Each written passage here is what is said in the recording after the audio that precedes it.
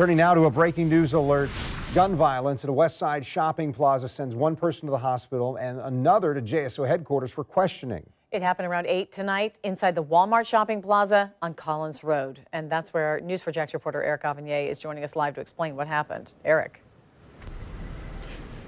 Yes, the shooting happened here in the parking lot right in front of this cell phone repair shop, which is located right next door to that Jersey Mike's. When officers arrived on scene, they found one gunshot victim on the ground, but that is not all they found. Uh, right next to the man who was shot was a knife uh, that is now considered a piece of evidence. Although a witness says the man appears to have been shot in the face, JSO says the man has non-life threatening injuries. The person who is believed to have shot the man remained at the scene until police arrived and he, that person was taken into custody. Right now, that person is being questioned at JSO headquarters. So far, no charges have been filed against that person. If we could bring it back here live, I just uh, just within the last couple of minutes, we just learned uh, that this car right here uh, was somehow involved in that shooting. We just just seconds ago, or so I say minutes ago, uh, we saw uh, J Jacksonville police uh, detectives, obviously, and crime scene technicians taking pictures of this vehicle, which remains inside this crime scene area.